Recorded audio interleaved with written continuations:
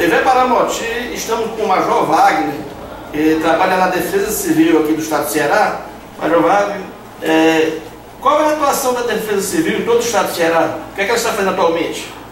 A Defesa Civil do Estado ela é órgão de atuação nos desastres e a seca, como não poderia deixar de ser, ela constitui um desastre é, cíclico e a gente observa que, que em todos esses, esses eventos vem sempre crescendo a atuação da Defesa Civil, porque hoje as pessoas já têm uma maior consciência sobre o que é Defesa Civil, justamente isso faz parte de um dos nossos pilares de trabalho, que é justamente a questão da da democratização do conhecimento de defesa civil. E esse trabalho é intenso. Ele é intenso porque a gente, a gente precisa da comunidade nas ações de defesa civil.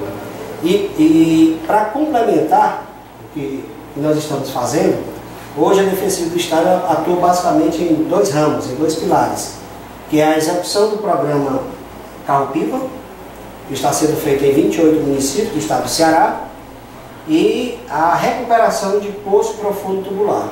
Lá em Paramoti, é, em, que a Defesa Civil especificamente está trabalhando lá? O município de Paramoti foi contemplado com 44 poços, onde o município externou para a gente, solicitou da gente, a recuperação desses poços que já foram perfurados. Esse recurso que veio do, do Ministério da Integração, esse recurso federal, ele destina-se a gente recuperar, recuperar esses poços para que a comunidade possa ter água potável, que hoje é o grande sofrimento. Seria o que? Uma limpeza? Que seria o quê? A primeira fase desse serviço constitui a gente fazer a limpeza e o bombeamento desses 44 poços. Ou seja, esse trabalho é importante porque nós pegamos o poço que já está perfurado e limpamos, retiramos lama, às vezes até é, restos de animais, pedras. Limpamos esse poço e fazemos o bombeamento dele. O que é fazer o bombeamento do poço? é definir, é determinar que tipo de equipamento, de bomba, nós vamos determinar para aquele poço. Né? E com isso nós vamos concluindo essa fase, nós já estamos aí com mais de 90% do serviço de bombeamento em todo o estado já executado, nos 291 postos que a gente começou, nós já estamos aí com 90% executado, e em breve, inclusive no município de Paramoti, nós vamos estar fazendo a instalação desses postos. É, instalando chafarizes, dessalinizadores, para que a comunidade possa ter água potável para consumo. Está é, previsto quantos dessalinizadores lá para Paramochi? Que eu estou sabendo o número de 40 dessalinizadores, é isso mesmo? Nós temos no município de Paramochi 44 postos que é, serão, que foram, né, que foram já é, limpos e bombeados. Para Paramochi está previsto em torno de 22 dessalinizadores. Modernos, né? É um equipamento é, moderno. E aí aqui eu quero aproveitar esse momento para solicitar a comunidade que vai receber esse equipamento para que ela adote esse equipamento. Infelizmente hoje a gente vê dessalinizadores nesse trabalho que estamos fazendo completamente destruídos. Ah, como nós já falamos aqui, a seca é cíclica.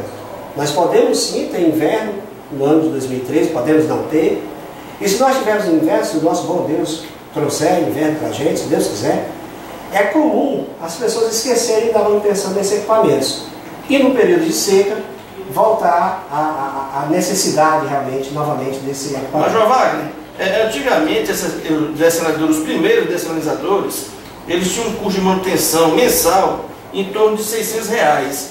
Esses dessalinizadores agora, é menor o custo para a comunidade? É igual no carro que a gente tem. Se você não cuidar de um problema pequeno, né? Aí esse número que você falou ele pode até ser extrapolado.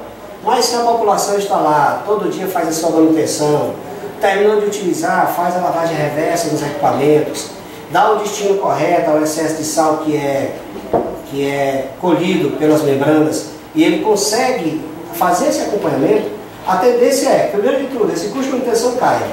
E a vida útil do equipamento de repente atinge aí 2, 3, 4, 5 anos. Nós temos exemplos de dessalinisadores em comunidades que até hoje estão funcionando há mais de três anos, nunca deram problema. Mas nós temos aquela pessoa que todo dia lá chega, controla, abre, fecha, limpa, dá manutenção, lubrifica. Lógico que é um equipamento que não é tão simples. é, realmente ele, ele, a manutenção dele não é tão barata. Mas se nós estivermos acompanhando constantemente, com certeza esses custos vão cair.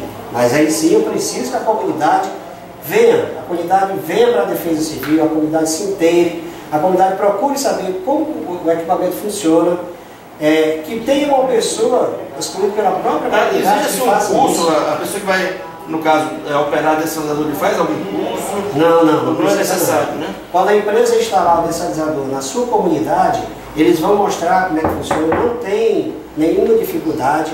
Então o processo é muito simples, mas precisa que seja feita é, a lavagem correta, o destino do excesso de sal correto. Tudo isso contribui para que a vida desse equipamento seja é, alongada o máximo possível.